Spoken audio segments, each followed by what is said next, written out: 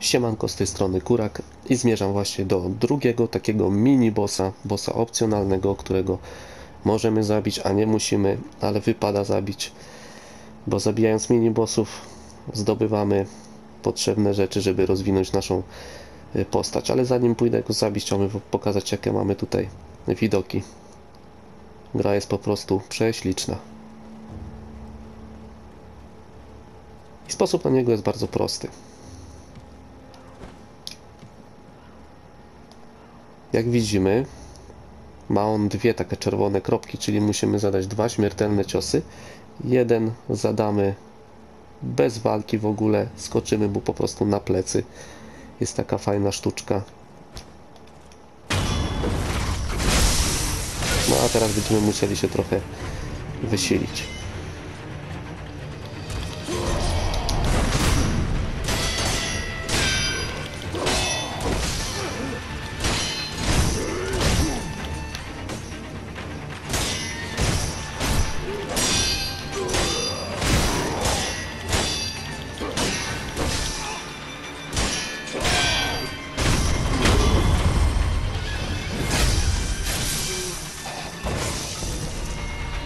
I mamy koralik modlitewny. To jest właśnie jedna z rzeczy, które są potrzebne do rozwijania naszej postaci.